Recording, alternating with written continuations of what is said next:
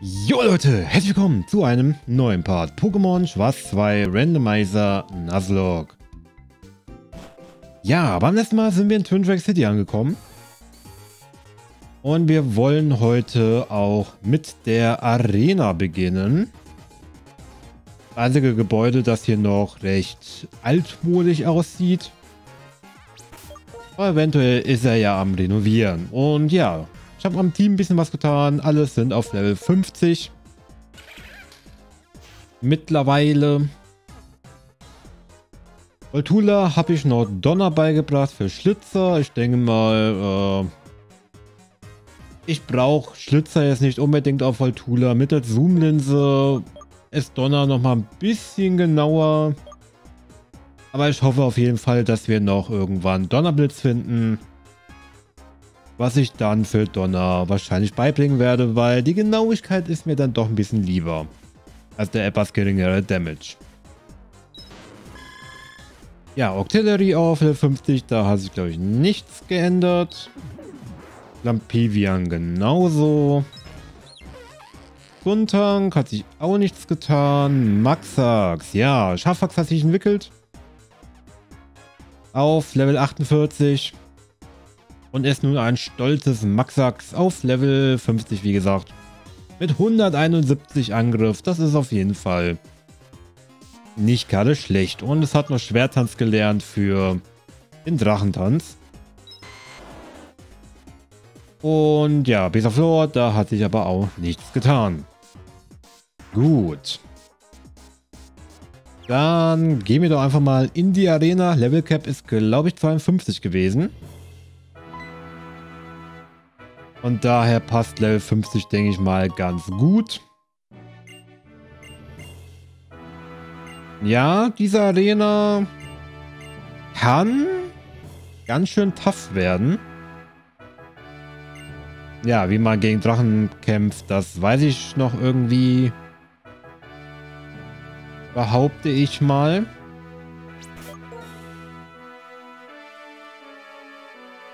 Es ist nur noch die Frage, mit wem werden wir leaden. Ich würde sogar mal sagen, ich versuche mal mit Maxax zu beginnen. Ich hoffe einfach mal, dass wir schneller sind. Eine andere Idee von mir wäre, dass wir ihm ein Wahlschal geben. Was wird das hier eigentlich? Äh, okay. Was gibt es noch? Ach so. Warte mal. Für die Musicals? Oder wofür soll das sein? Ich habe keine Ahnung. Ich das Item, glaube ich, noch nie gehört.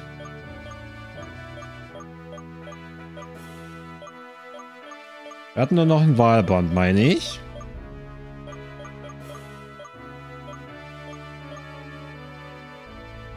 Ja gut, es stärkt den Angriffswert. Oder wir erhöhen die Init. Ich meine, mit Maxax in der Drachenarena werden wir so oder so nur ähm, Drachenklaue einsetzen, weil ansonsten habe ich zu sehr Angst um Maxax.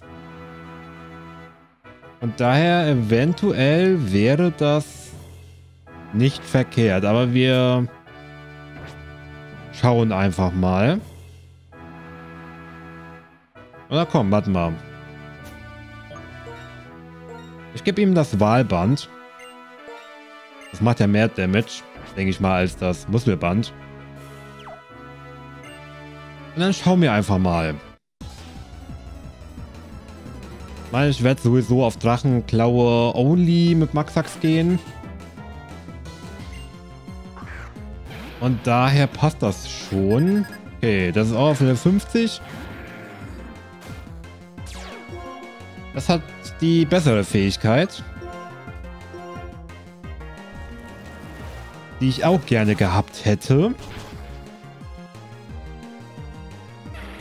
Ja, stell mal mit dem Wahlband tun mir auch ein bisschen Rivalität ähm, aussetzen, also ja, ignorieren.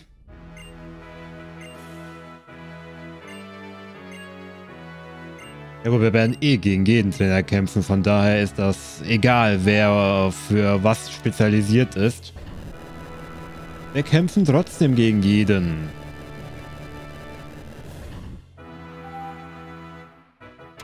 Fangen wir mit dem Typen rechts an.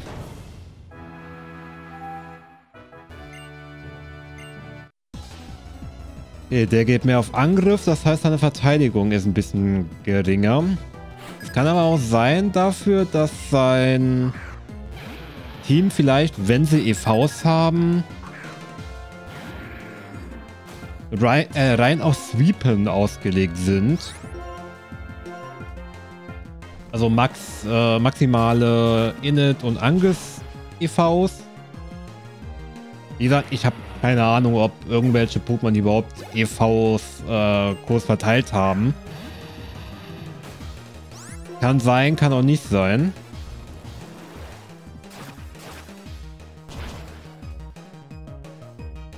Okay, aber es reicht aus, mit Maxax hier alles zu one-shotten. Das Problem jetzt ist, äh, Rivalität wirkt halt bei Lisander im Gegenteil, also im negativen Sinne. Wir können Lisander...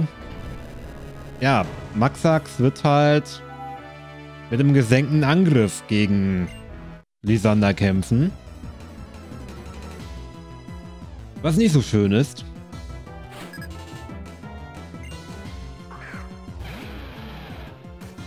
Entsprechend werde ich wahrscheinlich nicht mit Maxax dort unbedingt kämpfen. Wenn es nicht sein muss. Oh. Das hat die andere Drachenbeere gehabt, oder was? Aber wir critten es, von daher... Rivalität-Bonus plus Crit plus Wahlband geboostet. Wow. Putschild, ist das dein Ernst? Das ist die auf Verteidigung ausgelegte... Ja, klar.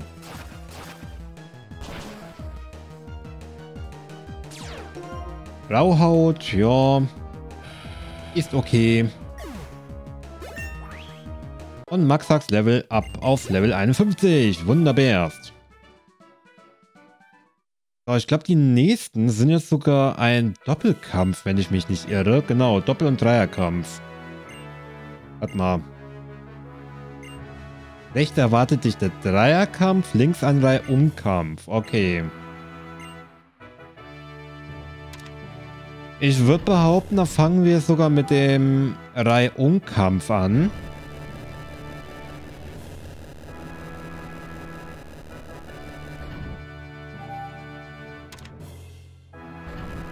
Weil ich da weniger Angst vor habe. Ja, ich denke mal, die drei sind eigentlich auch ganz in Ordnung. Ich werde Maxax nochmal kurz heilen.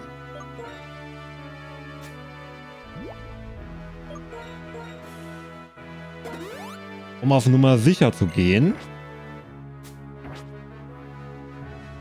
Und dann geht's los. Aber wieder mit Maxax, jo. Wenn man bei der Umkampf kann man das noch reinschicken, ohne Angst zu haben. Ihre Pokémon werden allesamt, denke ich mal, weiblich sein. Ist ja häufig so, dass ähm, weibliche Trainer ähm, weibliche Pokémon haben und männliche männliche Pokémon. Warum geht er jetzt, äh, geht ihr jetzt auf ihr Milzer? Will sie ja Shatrago noch etwas schützen oder was? Scheint ja so.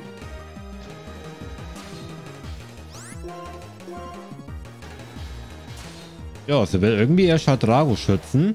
Wieso auch immer. Aber Maxax wiebt sich hier durch wie sonst nichts anderes. Das ist halt die Macht eines Maxax. Hab's ja schon mal gesagt, ist nicht ganz so cool wie ähm, Knackrack. Aber ja gut, was soll's. es, ich finde sogar Maxax nicht so cool wie Trikefalo. Also ich muss sagen, ich mag Trikefalo mehr als äh, Maxax. Was trotzdem immer noch ein geiles Pokémon ist, das auf jeden Fall. So, und noch der Dreierkampf. Wir wollen ja alles mitnehmen. Aber wenn da jetzt Maxax auf jeden Fall eine Pause bekommt.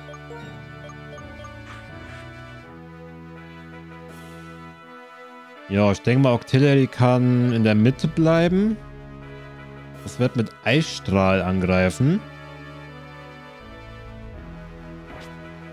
Die werden eh, haben eh allesamt irgendwie die gleichen Pokémon. Shadrago, Schafax und Milzer. Gut, ich glaube, allzu viele äh, Drachen-Pokémon gibt es auch sonst nicht unbedingt. Zumindest von denen, die nicht äh, in Lauros, äh, Lisanders Team sind.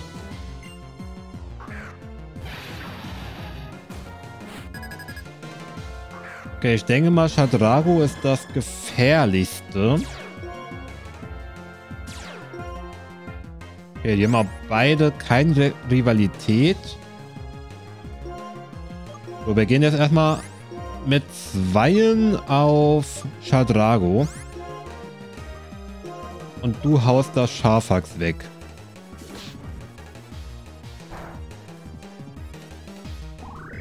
So gut es geht natürlich.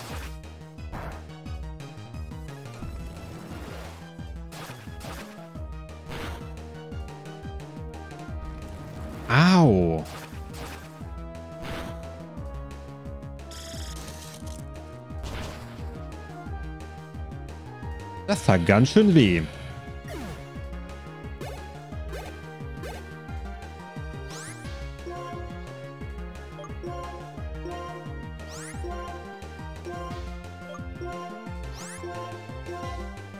Aber ich gehe jetzt einfach davon aus, dass du das weghaust. Dankeschön.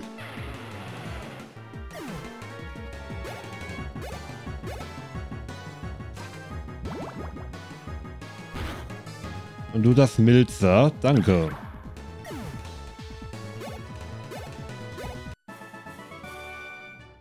Okay.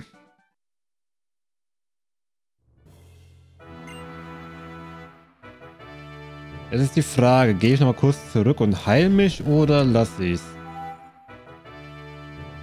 Ich glaube, ich gehe noch mal kurz zurück ins Pokémon Center und heile mich dann sehen. aber das schneide ich raus. Also wir sehen uns gleich wieder. Okay, und da sind wir auch schon wieder. Team ist wieder vollständig geheilt. Und da, die Drachen schreien sich an. Boom. Coole Effekte. Gut.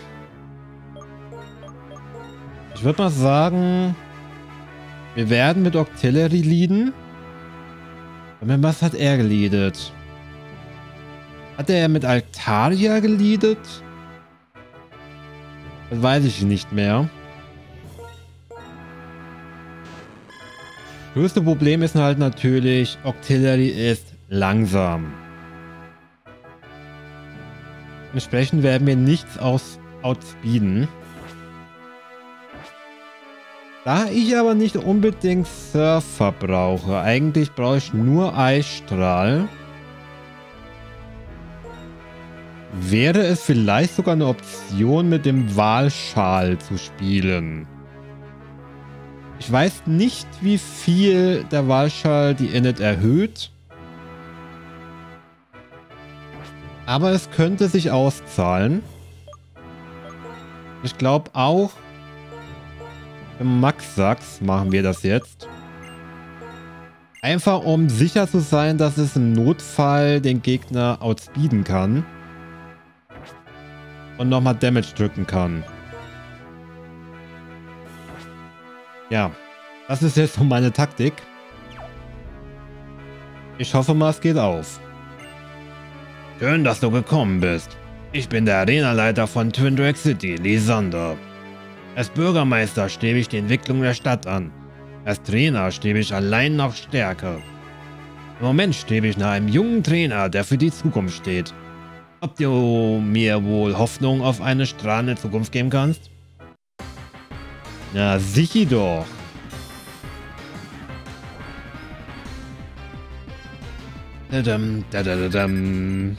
Ja, er hat vier Pokémon. Ah, er lebt mit Shadrago. Okay.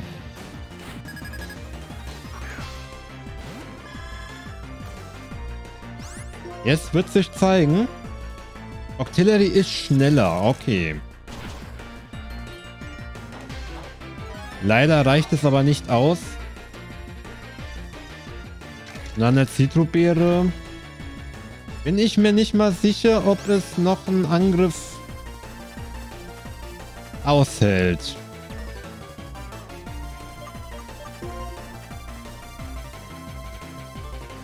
Aber was schickt man am besten Falle in einen Shadrago rein? Eigentlich nichts. Ich muss jetzt hoffen,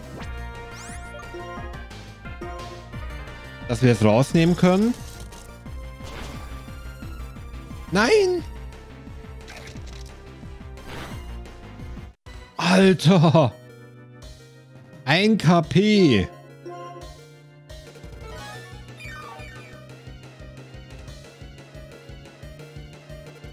Komm, crit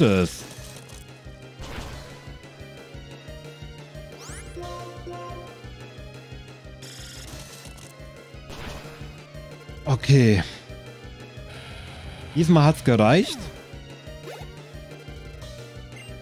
Libeldra. Ich werde Octillery jetzt heilen und gucken, was er macht. Wie viel sein Libelda und Schaden machen kann. Drachenroute.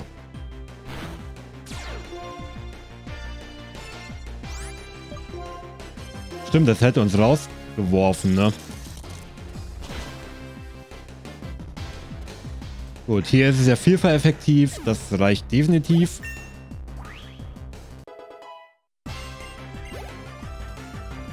Und Altaria. Wenn mir schon das... Ah, Watteschild. Ja gut, das erhöht deine physische Verteidigung. Das ist mir egal. Wir greifen dich speziell an. Okay, es läuft ganz gut. Jetzt kommt es am Max-Sachs.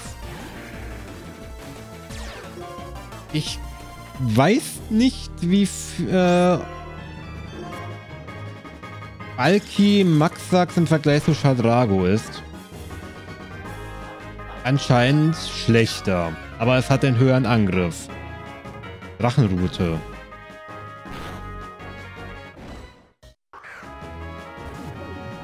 Ampivian. Okay. Komm, hau die Feuerschlag auf Doom raus. Okay. Nochmal ohne Verlust geschafft. Huiuiui. Also im Octillery stand ganz schön knapp. Das hätte auch ganz schön schief gehen können. Das war fabelhaft. Ich danke dir für diesen Kampf. Es ist viel leichter, mit Freunden ein Hindernis zu überwinden als alleine. Hast mir in Erinnerung gerufen, was der Sinn von Pokémon-Kämpfen ist. Hui, das war auf jeden Fall mit Turner, würde ich sagen, der spannendste Kampf bisher.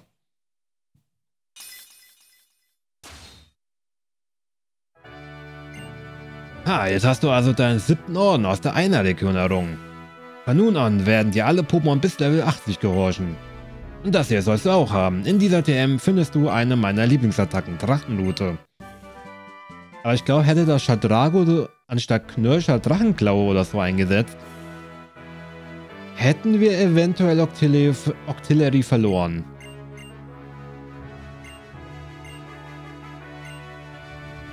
Oh, die Tochter von Ebert Esche hat mir bereits von dir erzählt. Ich möchte dir die Geschichte von Drachenpokémon erzählen, die einst die eine Region schufen. Warte bitte draußen auf mich. Okeli-dokeli. Leider gibt es hier jetzt keinen Teleporter mehr wie im ersten Teil. Der einen direkt aus der Arena portet.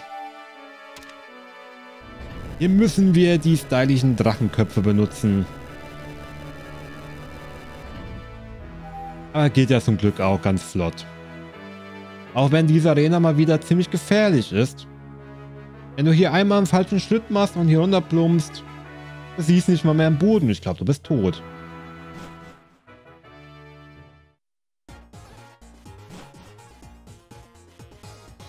Immer mir nach. Ich zeige dir den Weg zu meinem Haus.